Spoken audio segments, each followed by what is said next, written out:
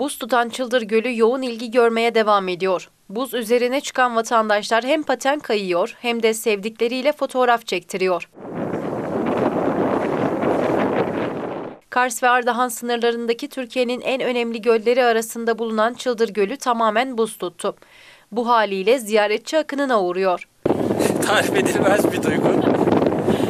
Herkesin gelip gelip hayatında bir kere deneyimlemesi gereken bir şey bence. Kars'a Doğu ve Turistik Doğu Ekspresi ile tur acenteleri aracılığıyla gelen vatandaşların ilk uğrak yeri Çıldır Gölü oluyor. Normalde kar oluyormuş üstü ama şu an buz çok güzel görünüyor. Biraz bizim için alışık olmadığımız bir şey hava durumu.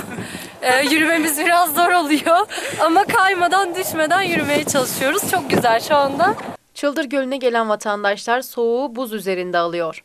Bazı vatandaşlarsa yanlarında getirdikleri patenleri giyip cam gibi buz üzerinde kaymanın keyfini yaşıyor.